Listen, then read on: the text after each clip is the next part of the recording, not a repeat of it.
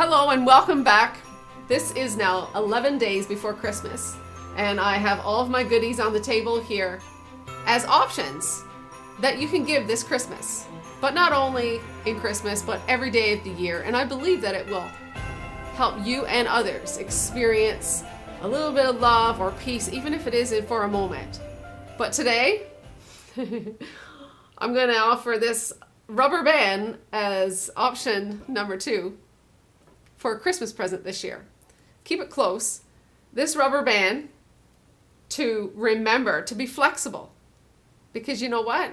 You are more resilient than you realize.